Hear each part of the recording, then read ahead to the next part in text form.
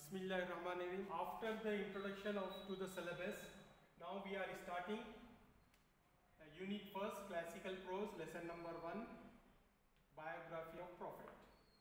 It means Siratul Rasul. Okay, it means Siratul Rasul. Rasul ki Sirat. In this lesson, we will come to know about the life of the Prophet and the different aspect of life of the Prophet. Okay, Siratul Rasul, biography of the Messenger.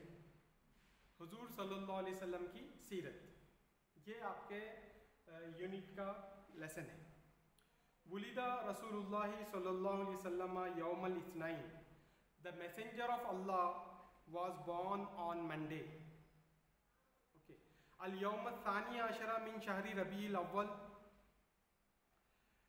Uh, the 12th day of the month of Rabiul Awwal okay.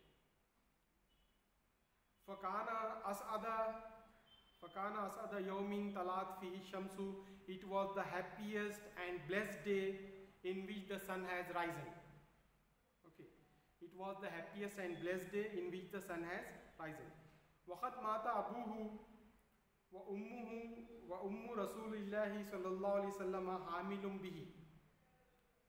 okay. And his father died. The prophet of Allah's father died while when the mother of prophet Allah's messenger the mother of Allah's messenger is pregnant with him was pregnant with him. Okay. Uh, the mother of prophet of Allah was pregnant with him uh, his father expired.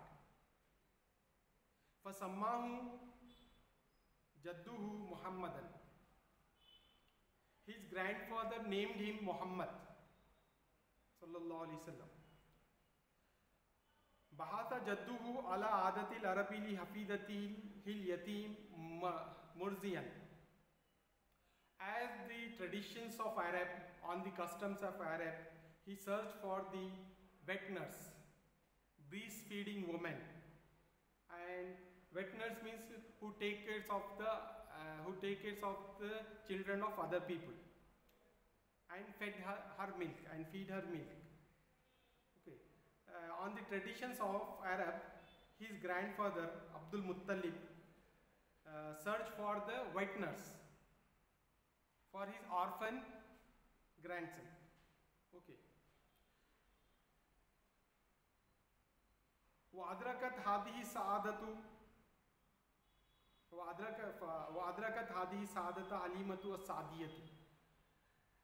uh, this opportunity was grasped by Halima Sadia Raziallahu Ta'ala Anha.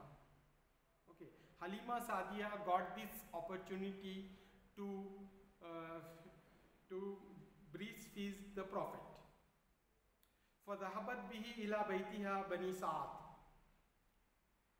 So she went away with uh, to she went uh, went away to her tribe with along with him, along with the Prophet.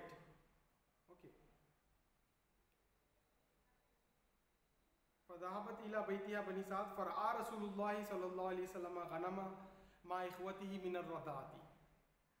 There, Prophet of Allah uh, grazed the sheep with his foster brothers.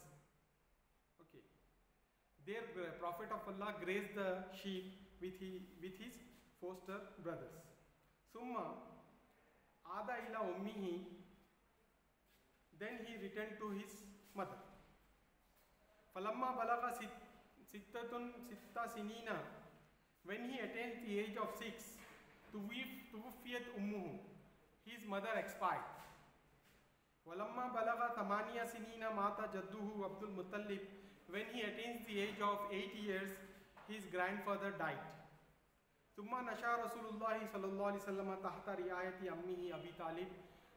then the prophet of Allah brought up under the care of Abu Talib Abu Talib radiallahu ta'ala when the grandfather died the prophet of Allah brought up and raised up under the care of his uncle uh, Abu Talib This this is the first paragraph of the uh, first lesson Siratul Rasul. वलीदा सीरतुर रसूल means रसूलुल्लाह सल्लल्लाहु अलैहि वसल्लम की सीरत वलीदा रसूलुल्लाह सल्लल्लाहु अलैहि वसल्लम वलीदा रसूलुल्लाह सल्लल्लाहु अलैहि वसल्लम मीन्स द प्रॉफिट ऑफ़ अल्लाह अल्लाह के रसूल सल्लल्लाहु अलैहि वसल्लम पैदा हुए पीर के दिन अलयौम थानी आशरा मिन शहरी रबी अव्वल रबी अव्वल की बारहवीं तारीख को। महीना रबी अव्वल के बारहवीं तारीख को सरकार सल्लल्लाहु अलैहि वसल्लम की विलादत बासादत हुई, हुजूर सल्लल्लाहु अलैहि वसल्लम पैदा हुए। फ़कान असद योमिन तलात फ़ी शमसु मतलब ये है कि वो दिन सबसे सादतमंद दिन था जिसमें सूरज तुलु हुआ। वक़्त माता अबू उम्मू रसूलुल्लाह सल्लल्लाहु अलैहि वसल्लम हामिल भी हुजूर सल्लल्लाहु अलैहि वसल्लम के वालिद का इंतकाल हो गया था, जब आप सल्लल्लाहु अलैहि वसल्लम अपनी माँ के रहम में थे। फसम्मा जद्दू मोहम्मदन, हुजूर सल्लल्लाहु अलैहि वसल्लम को अल्लाह ताला आपके दादा अब्दुल मुत्तलिब ने नाम रखा मोहम्मद। मोहम्मद सल्लल्लाहु अलैहि वसल्लम के माने द प्रेज्ड वन। तारीफ़ किया हुआ, हजूर सलाम का नाम तारीफ़ किया हुआ। कोई भी आप आप सल्लल्लाहु अलैहि वसल्लम का नाम इतना मुबारक है कि हजूर वसल्लम का नाम मोहम्मद आपके दादा ने रखा। बहाता जद्दू अला आदतिल अरब अरब के ट्रेडिशंस के हिसाब से, अरब के रिवायात के हिसाब से आपके दादा ने भी आपके पोतरे के लिए, यतीम पोतरे के लिए एक दाई का इंतज़ाम फरमाया। और ये दाई वादरकत हादी सादता हलीमत उस ज़माने में जो है, अपने बच्चों को देहात में दूध पिलाने के लिए और परवरिश के लिए भेजे, भेजते थे। तो हुजूर वसल्लम को भी वही अरब की रिवायत के हिसाब से भेजा गया और ये सआदत जो है, हलीमा सादिया रज़ी अल्लाह तह के नसीब में आई। फ़दाहबत भी इला बैतिहा बनी साद। आप सल्लल्लाहु अलैहि वसल्लम को लेकर अपने कबीले बनु साद को गई। वहाँ पर हुजूर सल्लल्लाहु अलैहि वसल्लम ने बकरियाँ चराई अपने रज़ाई भाइयों के साथ। उसके बाद हजूर वसल्लम अपनी माँ के पास वापस आ गए। जब आपकी उम्र छः साल की हुई तो आपकी वालदा का इंतकाल हो गया था। और जब आपकी उम्र आठ साल की हुई तो आपके दादा अब्दुल मुत्तलिब भी दुनिया से कूच कर गए थे। उसके बाद हुजूर सल्लल्लाहु अलैहि वसल्लम अपने चचा अबू तालिब के ज़ेर निगरानी परवरिश पाए।